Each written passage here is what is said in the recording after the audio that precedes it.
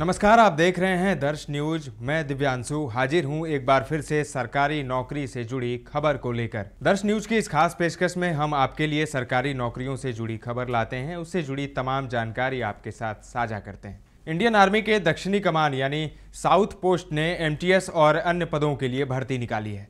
इसका विज्ञापन जारी किया जा चुका है। भारतीय सेना के दक्षिणी कमान मुख्यालय ने कुल 24 एमटीएस और अन्य पदों के लिए आवेदन मांगे हैं।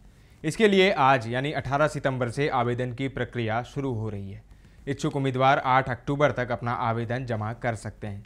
आप ऑनलाइन अप्लाई करने के लिए इंडियन आर्मी की दक्षिणी कमान की आधिकारिक वेबसाइट www.hqscrecruitment.in पर जाएँ।